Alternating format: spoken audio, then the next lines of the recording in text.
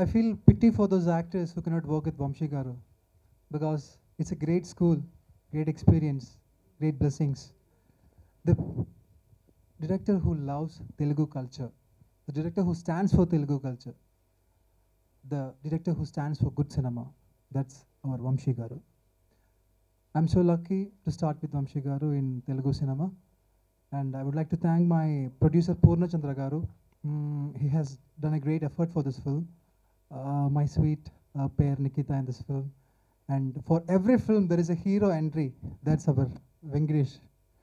Uh, Venkatesh is going to distribute this film in a um, lot of theaters over here. Right now, we need all your support and prayers. Thank you so much. Have title నుంచి టైటిల్లో ఉన్న font నుంచి posters నుంచి movie songs అంత Vamsi sir ఒక variety style ఉంటుంది and అలాగే మీ ముందుకు మీ ముందు మళ్ళీ తట్ మెల్లగా తట్టింది మనసు తలుపు అని మూవీతో ఆయన డైరెక్షన్లో మీ ముందుకు వస్తున్నాము. So I'm very lucky. So hopefully మెల్లగా ఈ మూవీ ద్వారా ఈ మెల్లగా మీ మనసుని తలుపుని తీస్తామని నేను నమ్ నమ్ముతాను. Because it's a very good film. Title ఎంత స్వీట్గా ఒక ఫీల్ గుడ్ ఫ్యాక్టర్ ఎలా ఉందో టైటిల్ ఎలా ఉందో కూల్గా. అలాగే ఒక ఫ్యామిలీ ఎంటర్టైనర్ సినిమా కూడా. సో వచ్చి చూడండి. And coming to the producer of the film Venkatesh garu a big thank you ఎందుకంటే uh, ఈరోజు ఇలాంటి అంత కష్టపడ్డాము. అండ్ ఒక మంచి ప్రోడక్ట్ని ఫైనల్గా దానికి డిస్ప్లే లేదంటే he's there has to be a value only when people see it so I think um, అలాంటి ఒక అవకాశం కలిగి ఇచ్చినందుకు to you know display the film thank you so much sir then the director of the film Chakri garu and my co star Ajmal చాలా బాగా చేశారు.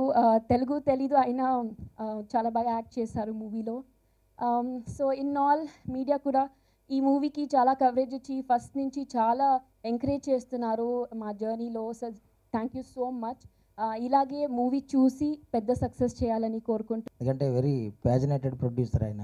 నాకు ఒక two three years two and half years నుంచి బాగా తెలుసు ఆయన. Cinema అంటే ఎంత ప్యాషన్ అంటే దానికోసం ఏదైనా వదులుకుంటారు ఆయన. అలాంటి వ్యక్తి వంశీ గారు. ఇంకా మా అందరికీ సినిమా పరిశ్రమలో ఎవరికైనా సరే వంశీ గారు ఒక లైబ్రరీ లాంటి వ్యక్తి. వంశీ గారి సినిమాలు చూస్తూ పెరిగామండి. ఈ మూవీ నేను చూడడం జరిగింది. వెంకటేష్ గారు నాకు చూపించారు. త్రూ అవుట్ ఒక మంచి ఎమోషన్ క్యారీ చేశారండి. ఒక క్లైమాక్స్ వరకు వంశీ గారు మెయింటైన్ చేసిన ఒక సస్పెన్స్ కానీ ఎమోషన్ కానీ బాగా కట్టుబడేస్తుంది ప్రేక్షకులకి. నేను చాలా ఇంట్రెస్టింగ్గా ఫీల్ అయ్యాను సినిమా చూస్తున్నంతసేపు. ఆ క్లైమాక్స్లో ఆ ట్విస్ట్ చాలా బాగుంటుందండి. వంశీ గారి సినిమాలు గత చిత్రాలతో దేనికి తగ్గకుండా ఈ సినిమా చాలా బాగా తెరకెక్కించారు. చాలా వెల్ విషర్ అండి. చాలా రోజుల నుంచి తెలుసు. ఆయన ఎప్పుడూ అనేవారు సినిమా తీస్తే కుటుంబం అంతా కలిసి చూడాలి అటువంటి సినిమా తీద్దాం అనుకున్నారు తన మొదటి ప్రయత్నంలోనే రామ్ గారితో సినిమా తీశారండి. రెగ్యులర్గా మనకు తెలుసు రామ్ సినిమా అంటే ఒక డిఫరెంట్ స్టైల్ ఉంటుంది. ఆయన చేతే ఫ్యామిలీ ఎంటర్టైన్మెంట్ సినిమా తీశారు. అటువంటి ఆయన అసలు ఫ్యామిలీ ఎంటర్టైన్మెంట్ సినిమా అంటే కేర్ ఆఫ్ ఎటర్ వంశీ గారండి. ఇంకా అటువంటి డైరెక్టర్ అటువంటి ప్రొడ్యూసర్తో సినిమా తీస్తే సినిమా ఎలా ఉంటుందో మనం ఎక్స్పెక్ట్ చేయొచ్చు. అండ్ వంశీ గారి సినిమాలకు నేను చాలా పెద్ద ఫ్యాన్ అండి. ఈ సినిమా కూడా మెల్లగా తట్టింది మనసు తలుపు. చాలా పెద్ద హిట్ అయ్యి మా వెల్విషర్ డివి గారికి చాలా మంచి ఇది వచ్చి ఈ సినిమా గురించి డివి గారు చాలాసార్లు చెప్పేవారండి నాకు. తను మొన్న వెళ్ళిపోయింది ఈ సినిమా ఆగిపోయింది అది నేను చేయాలి అని చాలా రోజుల నుంచి అనేవారు. అది ఫైనల్గా ఆయన ఒకటి అనుకోవడం ఈ ఇండస్ట్రీలో ఒకటి అనుకోవడం అది ఫైనల్గా చేయడం అనేది చాలా లక్ అండి. వంశీ గారు ఇరవై ఐదో చిత్రాన్ని నిర్మించే అవకాశం మా అన్నయ్య డివి గారు రావడం నేను చాలా హ్యాపీగా feel అవుతున్నానండి. All the best sir. Vamshi garu నాతో ఎప్పుడు అంటుండారు నాకు చాలా ఇష్టమైన దర్శకులు ఎవరికి కాదు చెప్పండి అందరికీ. ఆయనకు ఇష్టంలో నేను ఒక అయినందుకు నేను ఎప్పుడూ గర్వపడుతుంటాను. వంశీ గారు ఎప్పుడు చెప్పేవారు భారతీరాజు గారి దగ్గర పనిచేయాలని నాకు ఫ్యాసినేషన్ ఉండేది. అది తీరింది కనుక సీతాకోచులకి అసిస్టెంట్ డైరెక్టర్గా వెళ్ళాను అని. అలాగే ఆయన సినిమాలు చూస్తున్నప్పుడు సినిమా ఇండస్ట్రీకి వెళ్ళక ముందు ఆయన సినిమాలో ఒక్క పాటైనా రాయాలి.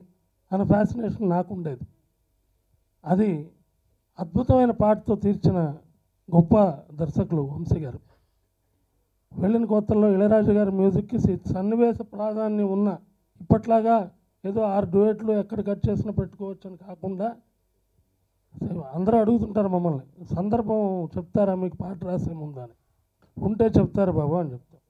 అంటే ఉండట్లేదుగా ఐదు డ్యూయట్లు ఏ అయినా పెట్టుకోవచ్చు. గట్టిగా మాట్లాడితే సినిమా థియేటర్లో ఆపరేటరే ఎడిటర్గా మారి మూడో రీల్లో సాంగ్ పదమూడో రీల్లో వేసేస్తాడు.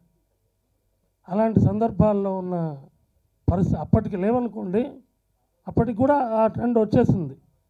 మహర్షి సినిమాలో ఇళయరాజా గారి ట్యూన్కి సన్నివేశ ప్రాధాన్యం ఉన్న పాటకి రాయడం కత్తి మీద సామ అయితే ఈ మహానుభావుడు ముక్తపథ గ్రస్తం ట్రై చేస్తారా? రాజేశ్వర ప్రసాద్ గారు? అంటే నన్ను పేరు పెట్టి పిలిచే అలా పిలిచే ఏకైక వ్యక్తి సినిమా రంగంలో వంశీ గారు ఒక్కరే. అందుకు కూడా నేను గర్వపడతాను. ఆయన ముక్తపథగ్రస్తం రాస్తారా అని అడిగితే ఆశ్చర్యపోయాను నేను. అంతకు ముందు రోజు ఒక సినిమా సిట్టింగ్లో ఒక దర్శకుడికి ఆమని అనే పదం రాస్తే ఆమని అంటే ఏంటి అని అడిగిన సందర్భాల్లో ఆ రోజులకే వచ్చేస్తే ముక్తపథగ్రస్తం అనే ఒక అలంకారం ఉంది. ఆ అలంకారం సినిమా పాటలు పెడితే ఎలా ఉంటుంది అన్న టేస్ట్ ఉన్నటువంటి మహానుభావుడు దర్శకుడు వంశీ గారు తెలుగువాడు కావడం తెలుగు వాళ్ళందరం చేసుకున్న అదృష్టంగా నేను ఎప్పుడు భావిస్తాను. ఎందుకంటే ఒక టైటిల్ వినగానే ఇది ఎవరు దర్శకత్వం వహించారని టైటిల్ మనం ఇప్పుడు చూస్తే ఓకే పైన వంశీ అని ఉంటుంది. మామూలుగా టైటిల్ చెప్పామనుకోండి ఇది ఎవరు డైరెక్ట్ చేసుకుంటారంటే ఆ టైటిల్ని బట్టి ఖచ్చితంగా వంశీ గారే చేసుకుంటారు అని తెలుస్తుంది మనకి. తను మొన్ననే వెళ్ళిపోయింది అన్న సినిమాని మళ్ళీ ఒక సెవెంటీ ఫైవ్ పర్సెంట్ అయిపోతే దాన్ని మళ్ళీ తీసుకుని నాకు తక్కువ కాలంలో పరిచయమైన చాలా సన్నిహితం అయిపోయిన మంచి మిత్రుడు వెంకటేష్ గారు అభిరుచి గల నిర్మాత అయితేనే ఇలాంటి పనులు చేయగలడు. యాంకర్ గారు ఇందాక చెప్పారు. ఆ అభిరుచి ఉంటేనే ఇలాంటి సినిమాను కొనుక్కొని ఇది ప్రజల దాకా తీసుకెళ్ళాలి అని. వంశీ గారి పట్ల ఆయనకి ఎంత గౌరవం ఉందో నేను ఇప్పుడు దాకా వచ్చేటప్పుడు మాట్లాడుకున్నప్పుడు అర్థమైంది. మంచి ప్రమాణాలు విలువలు ఉన్న సినిమా తీస్తారు. ఎక్కడ అసభ్యమైన ఒక్క మాట కానీ ఒక పాట కానీ సన్నివేశం కానీ ఉండదు అని ఆయన మీద ఉన్న గౌరవంతో ఆయన ఈ ఆగిపోయిన సినిమాను మళ్ళీ టైటిల్ మార్చి మళ్ళీ మళ్ళీ వంశీ గారు మార్కే. వంశీ గారు అన్నారు టైటిల్ మార్చుకున్నారు. అదే అదే. అదే చెప్తున్నా. వంశీ గారు అన్నారు టైటిల్ మార్చారు కానీ ఒకటి కథకు మనకు సినిమాకు డ్యామేజ్ కలిగించే టైటిల్ కానంత వరకు ఇబ్బంది లేదు కదా. అదే వేరే ఏదో అగ్లీ టైటిల్ పెడితే నేను ఒప్పుకునేవాడిని కాదు. ఆ టైటిల్ కూడా నన్నే మీరు చెప్పొచ్చు నేను చెప్పకూడదు అదే ఈ సినిమాకి నిరోధన టైటిల్ పెట్టుంటే నేను ఒప్పుకోను కదా. అని ఇందాక జోక్ చేసి అది కూడా నన్నే అడిగారు నేను ఒక పది టైటిల్స్ రాసిస్తే ఈ టైటిల్ నచ్చింది? అన్నారు. ఇప్పుడేగా రాశాను అప్పుడే ఇలా నచ్చిందని కూడా అన్నాను. అని అలా ఒక అభిరుచి గల ఇద్దరు వ్యక్తులు కలిస్తేనే ఇలాంటి మంచి సినిమా ప్రజల దగ్గరికి వెళ్తుంది. ప్రజల దగ్గరికి చేరువ చేయడానికి ఇంత అభిరుచి గల నిర్మాతగా ముందుకొచ్చిన మా వెంకటేష్ గారిని మనస్ఫూర్తిగా అభినందిస్తూ సరే వంశీ గారి సినిమా అంటే ఎలా ఉంటుందో మనం కొత్తగా చెప్పుకోనక్కర్లేదు. ఇందాక సుబ్బు గారు చెప్పింది చాలా కరెక్ట్. ఆయన సినిమాల్లో పనిచేయాలంటే అదృష్టం ఉండాలి. ఆయనతో పనిచేయాలంటే అదృష్టం ఉండాలి. ఆయనకు మిత్రుడు కావాలంటే అదృష్టం ఉండాలి. ఆ అన్ని అదృష్టాలు నేను అనుభవించిన వాడికి చెప్తున్నాను. నిజంగా మీరిద్దరూ అదృష్టవంతులు. అజ్మల్ అండ్ నిఖిత. అది ఇరవై ఐదో చిత్రానికి. ఆయన ఇరవై ఐదు చిత్రాలు కాదు వంద చిత్రాలు కూడా పూర్తి చేయాలి. అందుకు మనం అందరం కలుసుకోవాలి.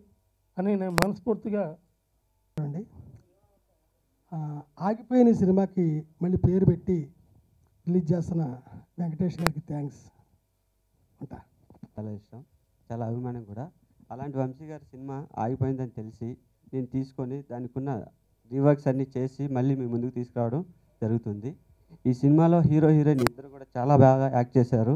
ఈ సినిమా మా మిత్రులందరికీ చూపించాను. వాళ్ళందరూ కూడా చాలా బాగుంది. ఫ్యామిలీ వాల్యూస్ చాలా ఉందని చెప్పి చెప్పారు.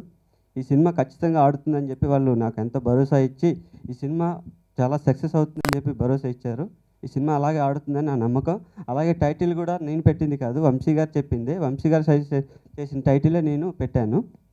ఏది క్రెడిట్ ఉన్నా కూడా మొత్తం వంశీ గారిదే. వంశీ గారు ఇలాంటి సినిమాలు ఇంకా ఎన్నెన్నో చేయాలని మనస్ఫూర్తిగా కోరుకుంటాను.